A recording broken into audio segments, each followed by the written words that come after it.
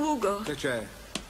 Ugo, c'è scritto dottore e tu sei solo ragioniere. Pino, ormai siamo tutti dottori.